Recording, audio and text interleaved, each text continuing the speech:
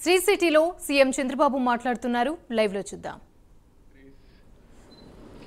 Refrigeration or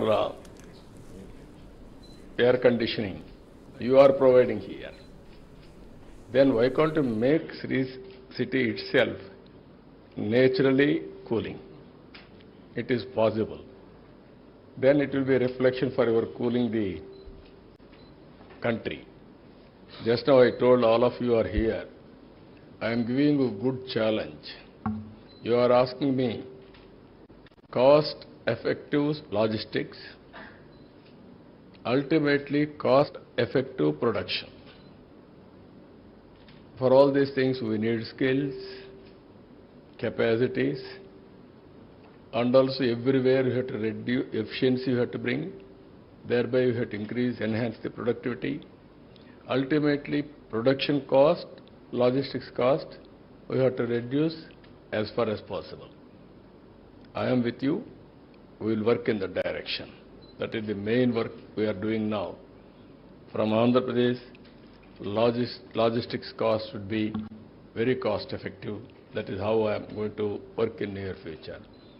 Here we are building Amaravati, a new capital. Long back, I started 10 years back. One of the best concept, this is land pooling.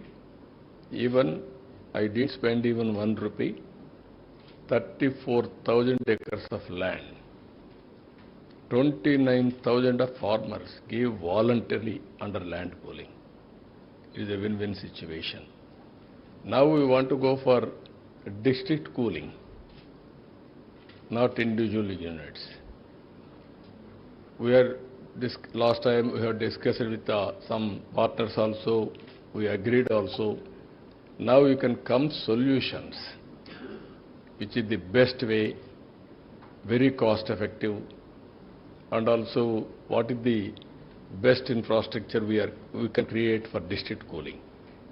As on today, we are getting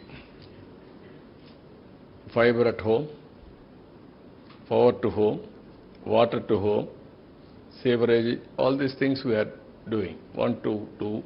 There also we are getting ducts, all these things. Ultimately, even AC should come through pipeline,